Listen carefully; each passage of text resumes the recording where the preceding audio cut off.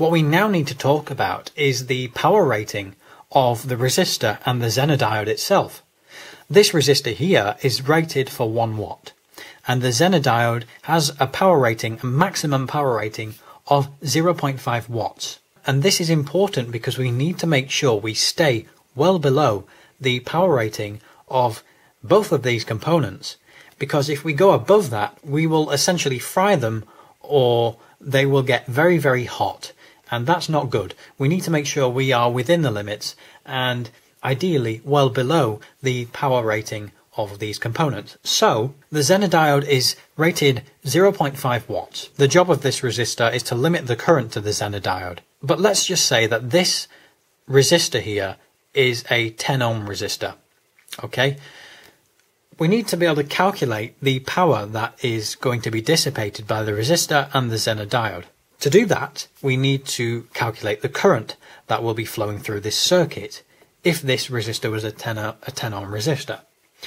And to calculate the current flowing through the circuit, we need to know the other two values. We need to know the voltage and we need to know the resistance. Well, we're saying the resistance is 10 ohms and the voltage is what will be dropped across it. So if this Zener diode is a 5.1 volt Zener diode, then 5.1 volts will be dropped across it because that's how it regulates. It regulates it at 5.1 volts. So 5.1 volts, and let's say we're supplying, uh, let's just say 14 volts. We're supplying 14 volts to the circuit. 5.1 volts is being dropped across the Zener diode. Therefore, the rest of the voltage is being dropped across that resistor. So 14 minus 5.1 gives us approximately 9 volts. Let's say 9 volts to keep things rounded.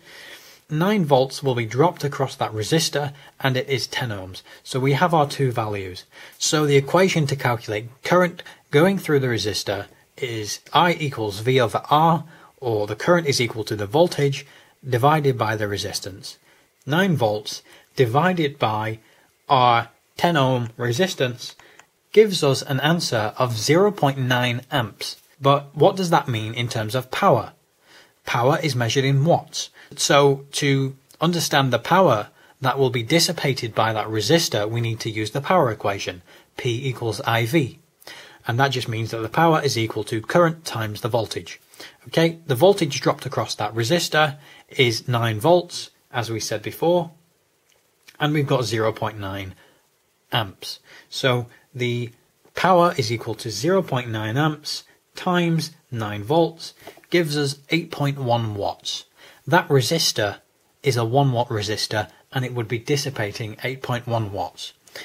Basically, it would be on fire. So that's not good. The Zener diode is only rated for 0.5 watts. And the current running through a series circuit is always the same through every component, so that 0.9 amps will be going through that resistor and through the Zener diode. So the Zener diode we know is dropping the rest of the voltage, 5.1 volts. So what's the power going through that? Well, P equals IV, 0.9 amps times the 5.1 volts gives us 4.59, let's say 4.6 watts. 4.6 watts through a 0.5 watt Zener diode is obviously way too much. That Zener diode is just going to break very quickly. And this is why we need to be careful when we choose a resistor for our circuit. So obviously we need to limit the current in order that the resistor and the Zener diode are dissipating power way below what they are rated to dissipate. To make sure that we stay as cool as possible and to make sure that we protect the diode and the resistor.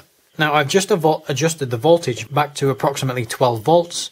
5.1 volts is still being dropped across that Zener diode, so that means that what is being dropped across that resistor is now 12 volts minus 5.1, 6.9 volts.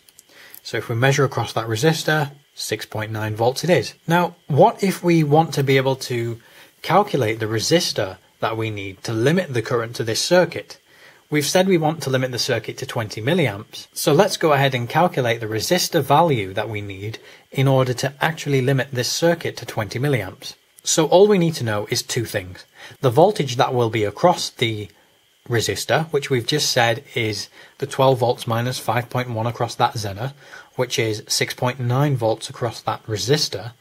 So 6.9 volts, we need to use the equation to calculate the resistance. So the, the equation is R equals V over I, or the resistance is equal to the voltage divided by the current. The voltage we know is 6.9 volts, and we just divide that by the current we've chosen, which is 0.02 amps or 20 milliamps. And this gives us an answer of 345 ohms.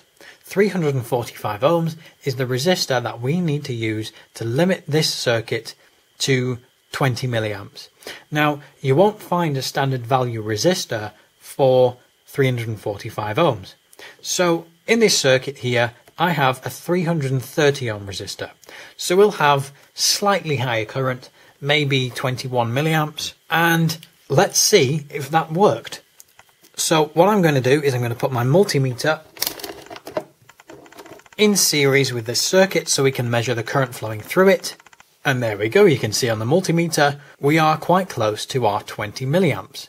So we have successfully limited the current to this circuit by calculating the resistor to limit the current to the circuit. Now, you may say, how do we actually put this to use? There's no point in having a voltage if we don't use it to power a load.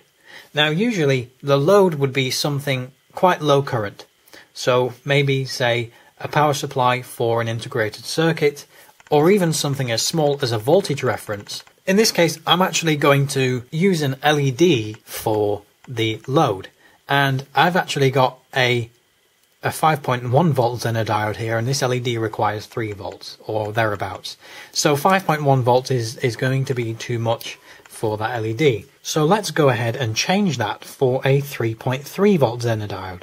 Well, now we've got to think about something else because we've limited the entire circuit to 20 milliamps. So if I introduce a load to this circuit, I'm going to draw current from that circuit. And that would be fine but this LED requires 20 milliamps to light up pretty good. So 20 milliamps is being dissipated by this resistor and the Zener diode.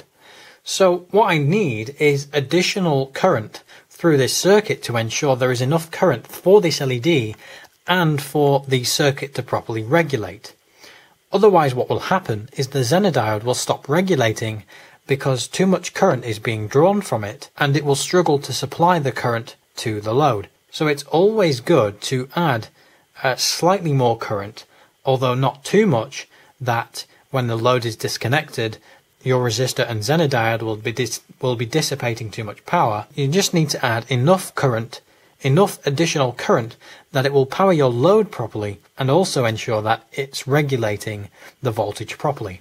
And so instead what I've decided is that I want 40 milliamps running through this circuit. I know that 40 milliamps is still way below the power rating of those components.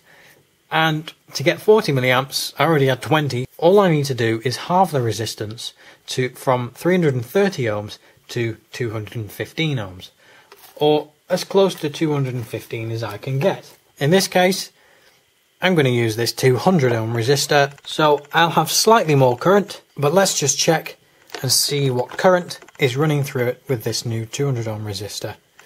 There we go, we've got it about right, haven't we? With 42, 42 milliamps. So now I can power this LED, which requires 20 milliamps, from this Zener diode, and there we go. We have light. And let's just check the voltage across this Zener diode, which is 3.3 volts.